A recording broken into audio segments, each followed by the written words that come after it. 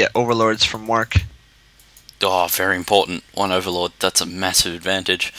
It does supply Black Mork for just a little bit. He's got four on the way.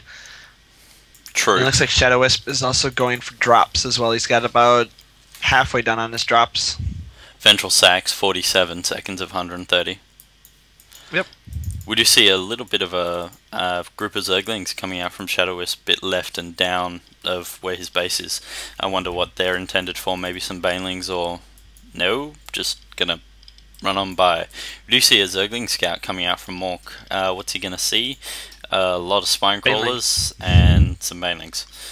Ooh, banelings versus zerglings is not good. Like it, it really doesn't take that many to just melt large amounts of zerglings very, very quickly.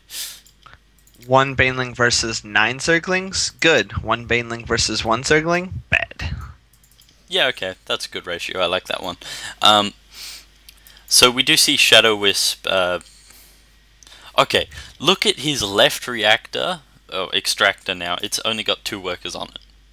Yes, now it only has two. You're correct, sir. Daha. I best you. Uh, so yeah, we do see Shadow Wisp has been focusing more on the minerals side of things and not so much the gas, so maybe that's been limiting his production more than he would want, especially con considering he's got a Spire. He's only now putting down his gas at his natural, so a lot of Zerglings are being forced to produce when maybe roaches or something of a higher tech level would have been more useful.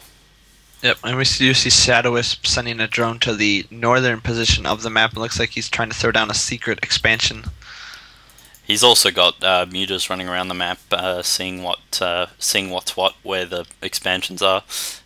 Possibly just seeing if he can uh, pick something off. I mean, he's got a pretty interesting travel path on those. Mm. And it looks like he just wants to do some damage. Meanwhile, we have Mork's army streaming out towards the natural. Mork streaming.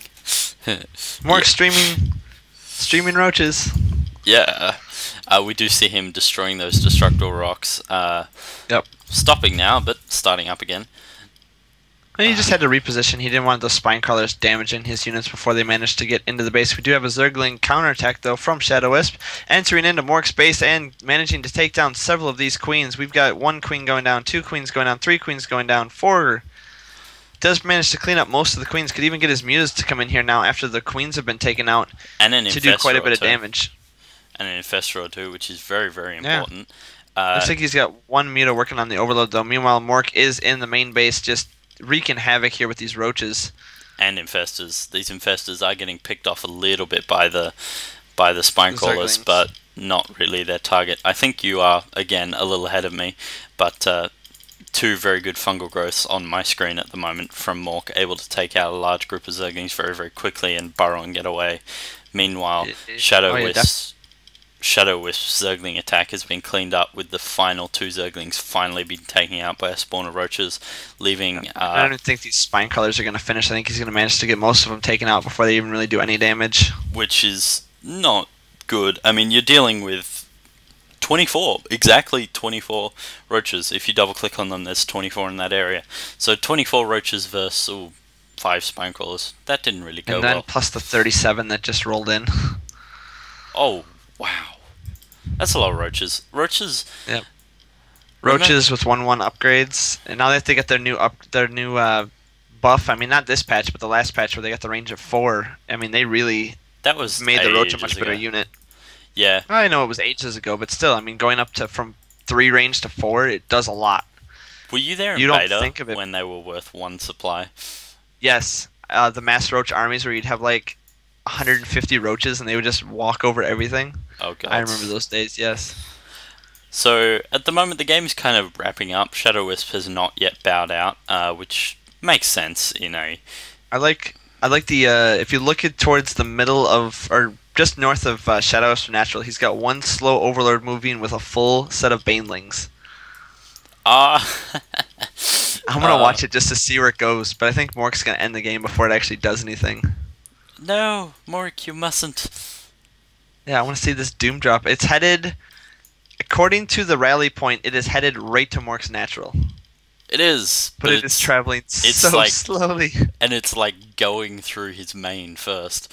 So Uh, it, it, it does There's have no four point- there's no anti-air though in the main, so I mean it'll get fine. But there is a uh, couple of spore crawlers which might have an issue with that. Yeah, is is is such it's the overlord that could. However, at the uh, Oh, exact didn't spot the base though. He's he's running around. He didn't. He hasn't seen it yet. he didn't he didn't he actually went right past the base. Like, I think he scouted everywhere. He has. If you if you look at his vision, he has scouted everywhere but where the expansion is. Isn't that just funny? Yes, it is. And we do see this uh, overlord drop coming in. It it just snail's pace, you know, just. God, just I definitely wouldn't have GG'd until this overlord drop happened. Like I would have waited until to see if it's if it's damaged. But it looks like Mork is surrounding the hatchet. I think he'll get it taken down before and, and actually end the game. He should have been like, just wait five seconds. Oh, and there's a queen from Mork that just spawned at the main, and uh, no. I think no. the queen's gonna do damage to it. Baneling, Oh yeah, there. Banelings. Oh, it ended. No, no. Shadowless. Oh. Mac hack. Map hack. No, Mork just had good scouting. Yeah. So very interesting game between Mork and Shadow Wisp. Uh, Yeah, definitely a good game to watch. very good game to watch. It's very educational if you want to work on your uh, ZVZ. Although if you want to Yeah. work on your ZVZ, just get Mork to Mork to coach you by playing you. If I mean Mork's often around in the Starcast chat channel and Vent and is always open for some one v ones. Two v twos not so much; they're not really his thing. But one v ones, he's just like, yeah, I'll school you, because so much fun. Or just watch his stream and learn why he does what he does. Or just That also helps. Day Nine or me or Husky or Rakgoska here. Anyways, we all do the same job. Some just better than others.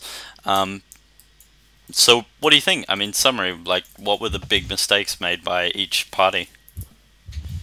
Um, well, Mork, I mean, he could have definitely expanded more once he uh, had map control. He could have easily gotten a third or a fourth. I think Uh, he could knew have he was. ended it as well. I think he could have like finished the game a lot earlier with roaches than he did. Like this, Yeah, but you always want to make sure that you know, especially like you know, we said it in the last game we recorded. It's a best of one. You want to make sure that there's no possible way you can lose.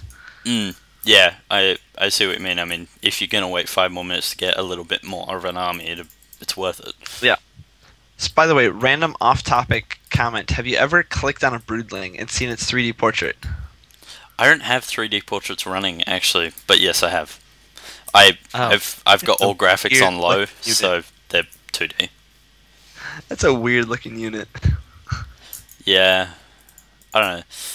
I don't. I I learned that like turning off 2D portraits does. Sorry, turning off 3D portraits increases your frame rate by about 10, because apparently it has to like fully render out an entire world just so it can show you that tiny portrait. So it's just like stuff that. It's cool, It's but kind of cool to watch it move. Yeah, it is, but I'll stick to better frame rate. Fair enough. Fair enough. I mean, Mork plays on low, doesn't he? Well, he used to. He can play on ultra, but he streams on low for lack of For better frame rate basically. yes, better frame rate. Yes. Anyway, I think we should uh, wrap this one up. Yeah, Rakgoska signing out. This is KEnODvT signing off. Uh, please check out my YouTube channel, and we'll see you guys next time.